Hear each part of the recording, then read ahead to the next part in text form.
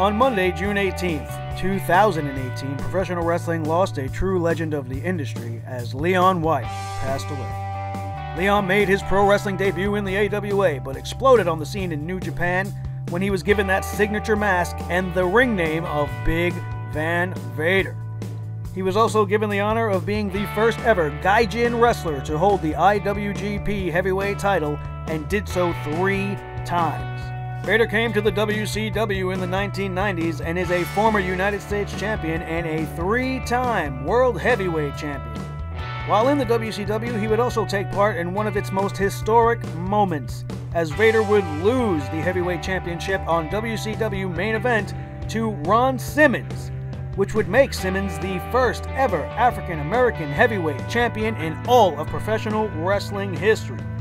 Big Van Vader made his way to the WWF and made his debut in the 1996 Royal Rumble as the man they call Vader. He would go on to face some of the top talent of the era.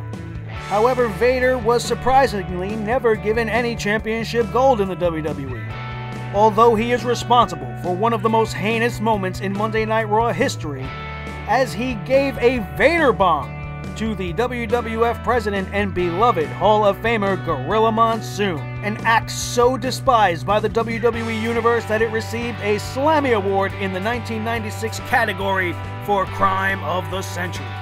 Throughout his career, Big Van Vader was a multiple time tag team champion, holding the belts in many different promotions with partners such as Too Cold Scorpio, Dr. Death Steve Williams, Tatsumi Fujinami, and Bam Bam Bigelow.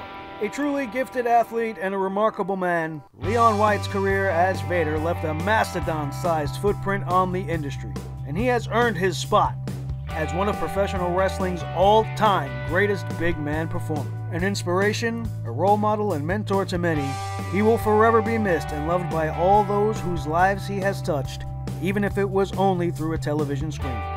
Our thoughts, prayers, and well wishes go out to his family and friends at this time. Vader was always one of my all time favorites in the business. May he rest in peace as he takes his place in that great ring in the sky where it will always be Vader time.